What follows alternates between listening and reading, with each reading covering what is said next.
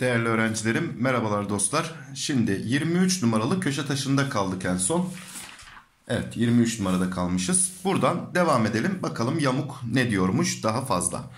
Şimdi hemen bir de bir odaklanmasını da bir ayarlayalım şunun. Parlaklığımızı birazcık açalım. Evet başlıyoruz. Şimdi yamuğun içinde açıortay gördüysek dostlar yapacağımız ilk hamle şu olacak. Bu açıortayı yan kenardan şöyle biraz daha dışarıya doğru uzatacağız. Bu bir. İkincisi bir Z kuralı arayacağız. İşte bakın size bir Z kuralı. Ve şu noktalı açı buradaki noktalı açı da olacak. Ve üçüncüsü ikiz kenar üçgeni patlatacağız. Yani şuradaki kenar ile şuranın eşit olduğunu göreceksiniz. İşte burası da x oldu diyebiliriz. Şimdi bir de oran vermiş. DE'ye 3K derseniz diyor AE 2K olacak diyor. Bakın şu kelebek üçgeni bir görelim hemen. 3'e 2 oranı var.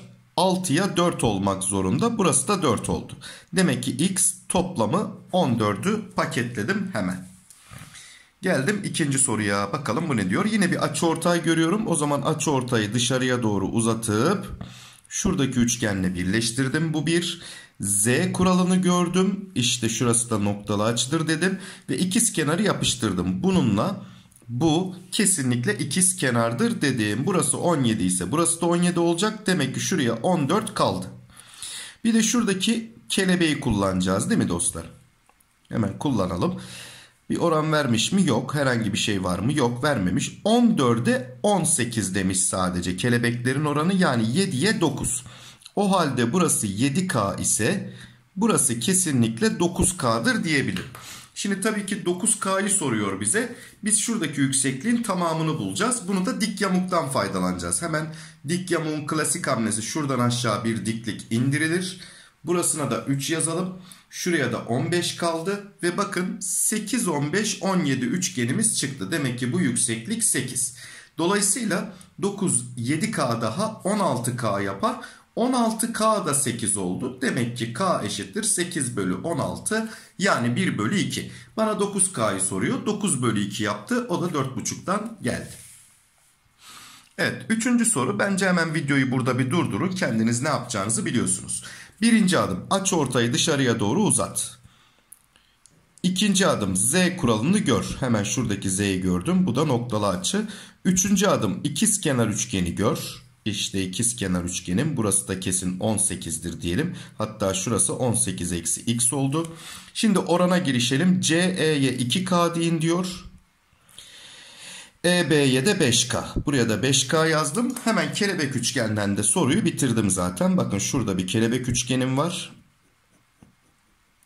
5'e 2 oranı 20'ye 5'in 4 katı 2'nin 4 katı 8 olacak. 18 eksi x eşittir 8'miş arkadaşlarım. Demek ki x eşittir 10 dedim.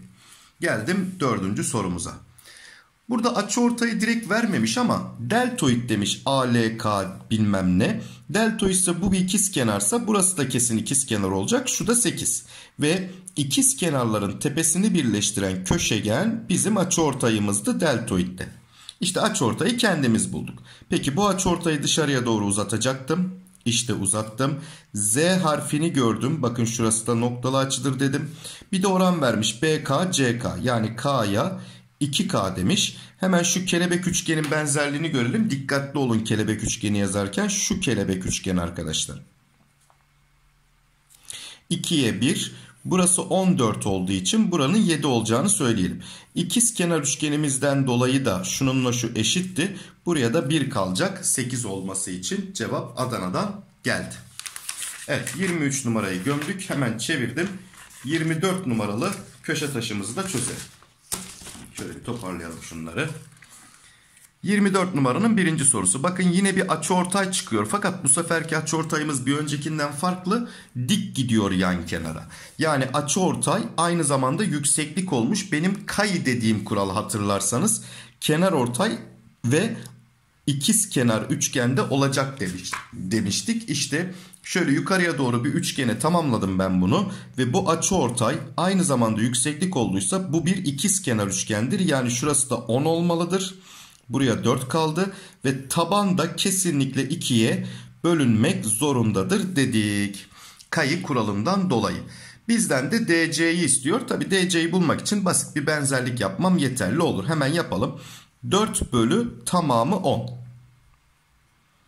eşittir x bölü 10'a. Yani onlar giderse x eşittir 4 çıkacakmış. Zaten bu üçgende ikiz kenar olur arkadaşlarım. Şununla şu da birbirine eşit olur. 4 oradan da diyebilirdik.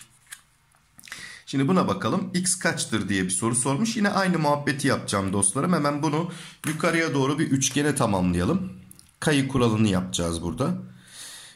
Şimdi bu hem açıortay hem yükseklik olduğu için ikiz kenar üçgen olacak bir kere. AB ile şurası kesin birbirine eşit. Sonra bu kenar ortay olacak. 9 ise şuranın da 9 olması gerekiyor kesinlikle. Hatta şurası 9 eksi x olacak diyelim.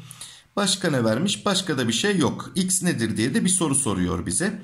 Şimdi şuraya da biz bir hani şunun da ikiz kenar olduğunu az önceki soruda söylemiştim dostlarım. Bu da bir ikiz kenarda. Hatta şöyle bir sefere mahsus ispatlayayım isterseniz. Şuraya A dersem yöndeş açılıktan bu da A olacak.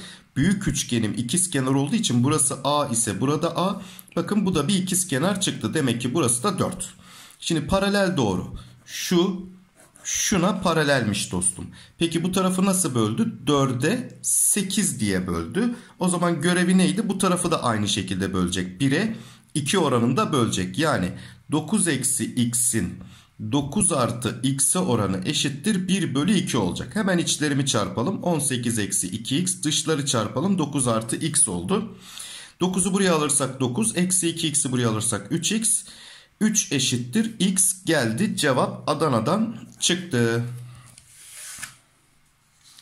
Evet üçüncü sorumuzdayız. Burada da alan oranlarını istiyor. Hangi alanlar? D, C, H, B ile A, B, H'ın alanları oranını istiyor. Şimdi öncelikle yine bir biz bunu üçgene tamamlayalım. Şu ikiz kenara bir konuşalım arkadaşlarım. Şimdi burası bir kere kesin kenar ortay oluyordu. Bu bir. İki. Bu üçgen ikiz kenar üçgen olacak. Önce oranı yerleştirelim. AH'a 4, DH'a 3 deyin diyor. AH 4K, DH 3K. Şurası 3K. Peki bu kenar ortay olacağı için DK burası 4K ise buranın da 4K olması lazım. Şuraya da K kaldı diyelim. Bunu da söylemiş olalım. Şimdi orana girişebiliriz eğer istersek. Şöyle yapalım dostlarım. Hatta bu K, K'ya 7K böldüyse şurası da M'ye 7M bir bölsün bakalım. 1'e 7 oranında burada da olsun. Şimdi şuna A alanı dersem ve şu köşegeni çizdiğimde 1'e A düştüyse 3'e 3A düşecek. Sonra 1'e 4A düştüyse 7'ye 28A düşecek. Sonra şuradaki kenar ortay değil mi? Bakın 4K'ya 4K. Buradaki 4K'ya 28, 29, 32 düştüyse buraya da 32A düşecek. Ve bizden de ne istiyor? 31 bunların toplamı. 32 de bu. 31 bölü 32 istiyor. Yani cevap Edirne'den geliyor dostlar. Hadi son sorumuza bakalım bu sayfadaki. Yukarıdaki verilenlere göre ABCD'nin çevresi nedir diye sormuş. Şimdi AB'yi 12 vermiş. BC'yi 8 vermiş. BC'ye 8 diyelim. Yine biz bunu yukarıya doğru bir üçgene tamamlayalım şöyle. Biliyoruz ki artık burada bir ikiz kenar vardı. Şurası da kesinlikle 12 idi. Şurasıyla şurası da birbirine eşit oluyordu. Hatta şöyle yapalım. A dersek burası da A. Burası 12 eksi A olacak diyelim. Şimdi yamuğun çevresi. 12 buradan. 8 buradan bir kere 20 var elimizde. Şuraya yazdım 20. Sonra 12 eksi A ile bir de A'nın toplamı var. Bu da 12 yaptı. Yani toplam 32'dir. Denizli'den geldi sorumuzun cevabı. Evet 24 numarada tamamdır. Hemen 25'i aldık önümüze. Taralı alan nedir diye soruyor. 8'i 5'i 12'yi vermiş. Bakın burada bir 5, 12, 13 üçgenimiz var. 13. Şuraya 13'ü yazalım. Şimdi dik yamukta şuradan yüksekliği indirdiğimizde çözüyorduk sorularımızı genelde dedik. Ve bakın şuraya A açısı dersem 90 şuraya B yazmalıyım. Burada beyaz üçgene bakın A var 90 var o zaman buraya da B yazmalıyım. Ve bakın beyaz üçgenin 90'ının karşısı 13 Şu yeni oluşturduğum şu dik üçgenin de 90'ının karşısı 13 geldi dostlarım. Demek ki bunlar eş üçgenler. Burada B'nin karşısı 5 ise burada da B'nin karşısı şurası 5. Hatta buraya 8 kaldı. Burası da 8. A'nın karşısı burada 12 ise burada da A'nın karşısı 12. O zaman şuraya da 12 kaldı diyebilirim. Şimdi bundan sonra istersem yamuğun alanını bulup beyaz üçgeni çıkartarak da bulabilirim. Ya da şurayı bakın çizdiğimde şurada bir dik üçgen var. Gördüğünüz 8 ile 12 dik kenarları. Alanını nasıl buluyorum? Dik kenarların çarpımının yarısı. 8 ile 12'yi çarpıp 2'ye bölersem 48 yapar. Şuradaki dik üçgende tıpatıp aynısı çıktı bakın. 8 ile 12'nin çarpımının yarısı 48 yaptı. Bu meğersem bir deltoid çıktı şansımıza. İkisinin toplamı da 96 geldi dostum. Evet ikinci sorumuz. Bir oran vermiş. BC'ye 2K, EB'ye 3K deyin diyor. Hemen diyelim. EB'ye 3K, BC'ye 2K yazın demiş. Yazdık. Şimdi yine şuradan aşağı bir diklik indirelim biz dostlar. Şuraya A açısı diyelim. 90 şuraya B diyelim. Şurası da B olacak diyelim. Bakın bunun 90'ın karşısı 2K. Şu 90'ın karşısı 3K. Demek ki 2 bölü 3 bu benim dik üçgenlerimin benzerlik oranı. Peki burada B'nin A'nın karşısını yazalım ya da A'nın karşısına şuna H diyelim. H. Burada A'nın karşısı 9. Bakın 3 katı bu da 3 katı olacak. Demek ki benim yüksekliğim 6. Bunun yüksekliğini buldum. 6 olduğunu gördük. Peki devam edelim. Tüm yamuğun alanını soruyormuş bize de zaten arkadaşlarım. Peki yamuğun alanı alt taban artı üst taban 15 artı 6 21 bölü 2 çarpı yüksekliğimizde 6. 2 ile 6 sadeleşsin 3. 3 ile de 21'in çarpımı 63'tür. Adana'dan gelir sorumuzun cevabı. Evet 3 numaralı sorumuza bakıyoruz. 2 var 20 var ikiz kenar yamuk x nedir diye de bir soru sormuş. Şimdi ikiz kenar yamuk da klasiktir. Şu iki yükseklikte aşağıya doğru bir indirilir. Şunu da indirelim hemen. Şimdi şu 2 hemen karşıya taşındı dikdörtgenden dolayı 2. Tamamı 20 idi. 2 bu ortaya yazdıysam 18 kaldı bu ikisine toplamda şu iki sağ ve soldaki parçaya. Ve bunlar her zaman birbirine eşittir. İkiz kenar yamukta. 9 9 diye de bunları yazdım. Bakın bu dik üçgen 9 12 15 dik üçgeniymiş. Demek ki yamuğumun yüksekliği 12. Şimdi hemen şu üçgen ile deminden beri yaptığım olayı yapacağım. Benzerleyeceğim. Şu dik üçgenle AB 90 diyorum. A 90 şuraya da B yazalım. Şuradaki beyaz dik üçgenimi onu kalınlaştırayım şöyle. Bunu benzerleyelim. Kırmızı dik üçgende 90'ın karşısı 15. Beyaz dik üçgende 90'ın karşısı 20 eşittir. Kırmızı dik üçgende A'nın karşısı 12. Beyaz dik üçgende A'nın karşısı X. 5'e bölelim 3. 5'e bölelim 4. Bakın 3'ün 4 katı bu da 4'ün 4 katı olacak. 16 gelecek sorumuzun cevabı. Evet. Şuna bakıyoruz şimdi. Yine yapalım mı aynı muhabbet arkadaşlarım? Hiç düşünmeye gerek yok herhalde. Hemen artık aynı dördü de aynı tarz soru olacak demek ki. Burası 5, burası 15, şuraya da 20 kaldı. 15, 20, 25 üçgeni çıktı. Bu açıya A, bu açıya B diyorum. AB 90. A 90 ise burası da B.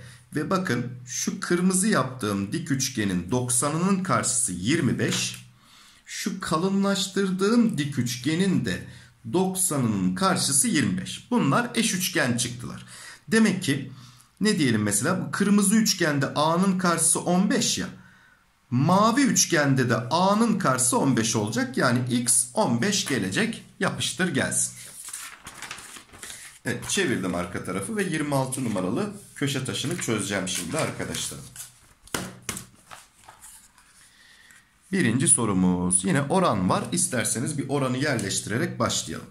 AB DC'nin 3 katıymış. Yani K diyelim. 3K diyelim. Sonra CE'ye 2M yazarsanız diyor. BE 3M olacak diyor. Ve alan DCE. Şuranın alanını da bize 6 olarak vermiş arkadaşlar.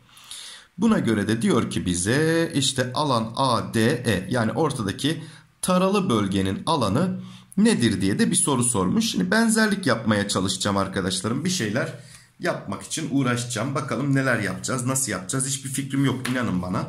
Şu doğruyu biraz uzatalım şöyle aşağıya doğru bakalım ne geliyor. Şimdi burada 2'ye kelebek üçgenlere bakın. 2'ye 3 oranı var değil mi kelebek üçgenlerimizde? O zaman ben şuna 2K dersem burası 3K olacak. Tabi bunun 2 katını aldıysam şu 3K'nın da 2 katını alayım 6K yazayım buna ki oran değişmesin. Sonra 2'ye 3'tü benzerlik oranları. Benzerlik oranları 2 bölü 3. Dolayısıyla alanların oranı bunun karesiydi 4 bölü 9. 4 bölü 9 ise üsttekinin alanı 6 ise alttakini bulalım hemen. 9 kere 6 54. 54 bölü 4 geliyor. Yani 27 bölü 2 çıkıyor arkadaşlarım şurası. 27 bölü 2. İnşallah doğru yaptım. 54 bölü 4 27 bölü 2. Evet doğru. Alanların oranı da bu. Şimdi burası 27 bölü 2 yani 3'e 27 bölü 2 düştü. Buna ne düşecek 6'ya? 2 katı tabii ki. 3'ün 2 katı olduğu için buraya da o zaman 27 gelecek. Bunu da bir bulmuş olduk. Sonra neyi bulalım şimdi? Ee, burada bakın 2'ye 3 oranı vardı kelebeklerde. O zaman şuraya mesela 2n dersem şurası 3n olmalı. Şimdi 3n alanına bakın arkadaşlarım. 3n'e. Ne düştü? 27 artı 27 bölü 2. Bir toplayayım mı onu? 54 81 bölü 2 düştü 3n'e. 2n'e ne düşecek diye soruyorum dostlarım. 3n'e 81 bölü 2 düştüyse 2n'e ne düşer diye soruyorum hemen. Burada bakın 3n'in 27 ile çarpılmış 2'ye bölünmüş 3. 27 ile çarp 2'ye böl. Şimdi 2'yi 27 ile çarparsam 54, 2'ye bölersem de 27 olur. Demek ki buraya da 27 düşecek. Cevap Edirne'den geldi. Şuna bakalım. Yine bir oranlar var. Oranları bir yerleştirelim. CE'ye 2K diyelim. EB'ye 3K diyelim. Sonra AB'ye 4M yazalım. DC'ye 3M yazalım. 9 vermiş x'i istiyor. Yine kelebek yapacağım dostlarım ben. Ee, kelebek de yapabilirim. Yani şöyle de yapabilirim. Bunu dışarıya doğru uzatsam da çözerim soruyu. Yalnız şuradan paralel çizsem de çözerim gibi geldi. O yüzden şu paraleli bir çizeyim ben. Bakın şurada benzerlik var. 3'ün 5'e oranı var gördüğünüz gibi. 3 bölü 5. Şuna y dersem ben 3 bölü 5 eşittir y bölü 3'e. 9m bölü 5 çıktı buradaki y. 9m bölü 5. Şimdi bir de şuradaki kelebeği görelim arkadaşlarım. Kelebek üçgenleri. Bakın neydi? 9m bölü 5'in 4m'e oranı. 9m bölü 5'in 4m'e oranı. Hatta bunu ters çevirip çarparsam 9m bölü 20m yapar bu oran. Eşittir 9 bölü x'e. İşte bu da 9 bölü x'e eşit olacak. Demek ki x direkt 20'dir diyebilirim dostum. Evet geldik 3. soruya. DCKE. Üstteki taralı alanın alttaki taralı alana oranını soruyor. Yine oranlarımız var yerleştirelim. AB DC'nin 4 katıymış. K'ya 4K yazalım. AE de DE'nin 2 katıymış. M'e 2M yazalım bunlara da. Şimdi oranlara geçelim artık. Nasıl yapalım mesela? Şunu dışarıya doğru uzatalım. Şöyle de birleştirelim. Bakalım neler geliyor. Şimdi 1'e 2M oranı var. 4K'ya da 2K diyebilirim o halde buraya. Şurası 2K'dır dedim. Bu 1. Sonra şurada 3K'ya 4K kelebek oranı var. 3'e 4 kelebek oranı. O zaman şurası 3A'ya 4A'dır da diyebilirim. Bunu da yazalım. Başka şuraya gelelim arkadaşlarım. Şuraya tekrar konuşalım. 2'ye 4 oranı vardı. Yani şurası x ise şurası toplam 2x olacak. Şurasında da 3'e 4 oranı var değil mi şu kelebekten? 3'e 4. Şöyle diyelim 3'e 4 ise hatta 2 katını 3'e 4 diyelim. Neyse öyle yapalım. Biraz gıcık olacak şuradaki oran da o yüzden düzgün düşünmek istedim. 3'e 4. 2 katını alsam 6'ya 8 olur mu? 6'ya 8 14 olur olmaz. 3 katını alsam 3'e 4'tü 9'a 12. 9'a 12 desem olur. Şimdi şurası 9 ne diyelim y şurası 12y. 9'u 12 yani 3'e 4'tü. Ben 3 katlarını aldım. Peki şu kelebekten de 2'ye 4 tane x'e 2x diyeceğim ya yani 3x oldu burası toplamda 3x. Bakın 3x 12y ile 9y'nin toplamı 21y. Demek ki x eşittir 7y.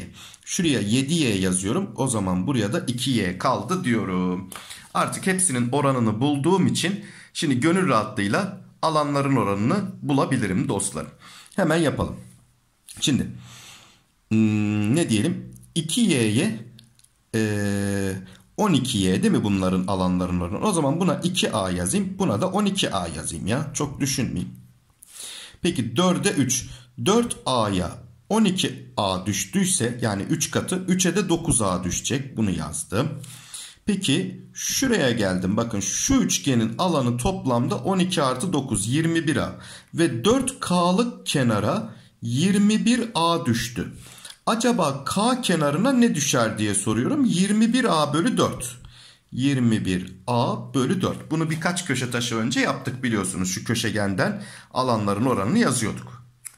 Peki bu üçgen 21a bölü 4 ise ben bundan 2a'yı çıkartırsam şu taralı yeri bulurum değil mi? Şu 2a'yı çıkartıyorum. 4 kere 2 8. 21'den 8 çıkarsa 13a bölü 4'müş şurası da.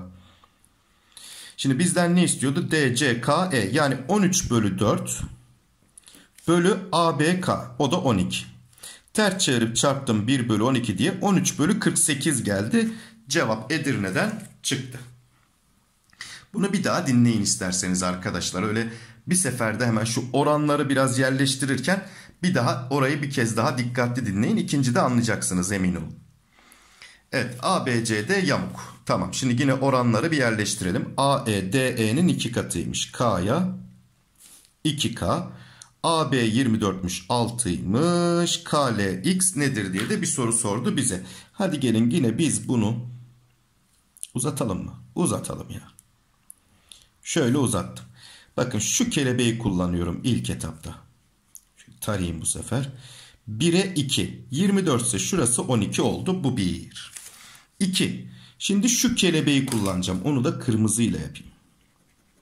Şununla şunun kelebeğini kullanacağım. 18'e 24'tür oranları.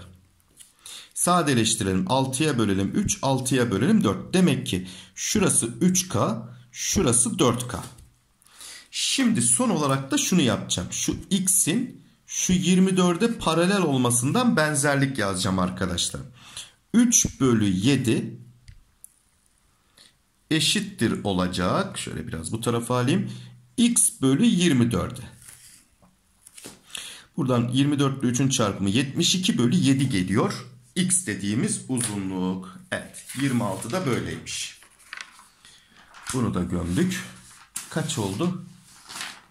23'ü gömdük. 24, 25, 26'yı gördük. 23 dakika olmuş arkadaşlar. 27 var, 28 var, bir de 29 var. 3 tane daha kalmış. Hadi onları da bir sonraki videoda gömeriz. Yeter bu kadar. Çok çabuk yormaya gerek yok. Sonra video çekmesi aksıyor. Yavaş yavaş çöze çöze gidelim. Peki görüşürüz bir sonraki videomuzda.